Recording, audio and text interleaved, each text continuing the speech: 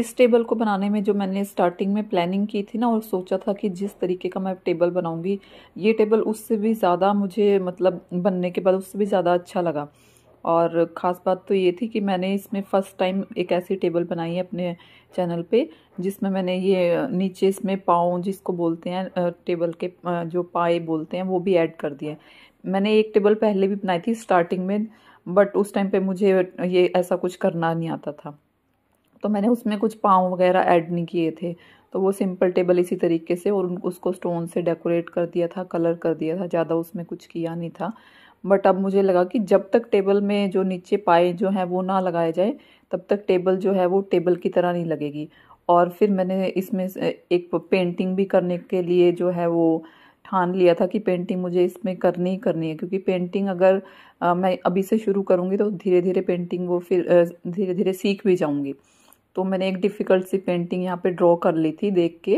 कहीं से रेफ़र कर लिया था एक गूगल से एक पेंटिंग जो है वो देख के। यहाँ पे मैंने पेंटिंग ड्रॉ की थी। उसके बाद इसमें कलरिंग करने में बहुत ज़्यादा प्रॉब्लम आई, क्योंकि अगर ये है तो एक मंडाला आर्ट की एक टाइप ही मुझे लग रही है शायद उसी तरीके की है ये। बट लिपिन आर्ट या मंडाला आर्ट में हम क्या करते हैं कि पूरे बेस को एक ही कलर से जो है वो पेंट कर देते हैं वाइट या फिर मोस्टली वाइट ही करते हैं। देन फिर उसके ऊपर हम जो भी स्टोन्स वगैरह या फिर आप मिरर वगैरह या क्ले वर्क जो है वो बाद में होता है। बट इसमें मैंने जो है वो डिफरेंट डिफरेंट कलर से हर एक पार्ट को जो है वो कलर किया था।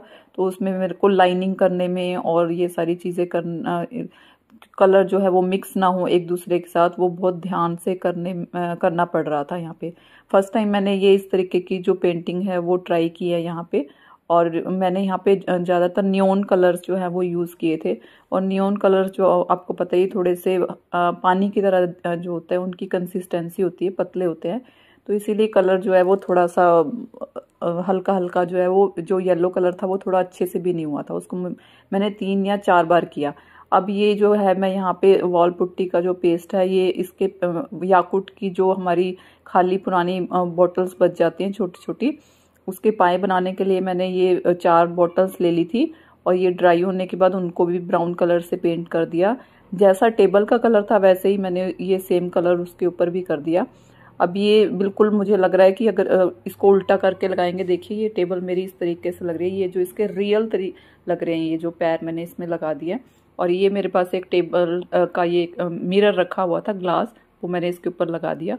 और नेक्स्ट फिर मैंने एक और जो है वो आइटम बना दिया इसके साथ। और ये वाल पुट्टी से कुछ आ, मैंने यहाँ पे ये बना के रखे हुए थे पीसेस और इस पर पे पेंट कर दिया मैंने अच्छे से। अलग अलग कलर से जैसे जो कलर मेरे टेबल के अंदर थे वही मैंने इसके ऊपर भी ग्रीन और जो मेरा ग्रीन और पिंक कलर और ये ऑरेंज कलर और ये जो स्टोन से मैंने वॉल पुट्टी से बनाए थे, ये इसके ऊपर मैंने एक फ्लावर की शेप देते हुए यहाँ पे लगा दिया। और ये इस तरीके से मेरा जो है वो लगभग बन के तैयार हो गया और गोल्डन कलर से मैंने इसको पेंट कर दिया था।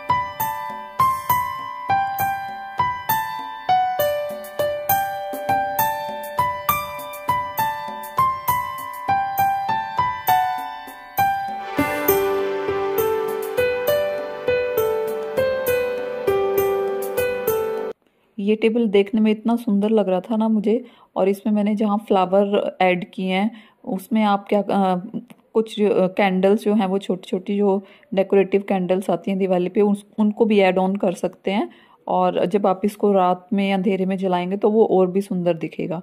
तो आप आप भी इस तरीके से अपने घर में जो भी आपके पास बॉक्सेस रखे हैं कोई टेबल बना लीजिए या फिर कुछ इस तरीके से आइटम डेकोरेटिव पीस बना लीजिए जो कि दिवाली की डेकोरेशन में काम आ जाए.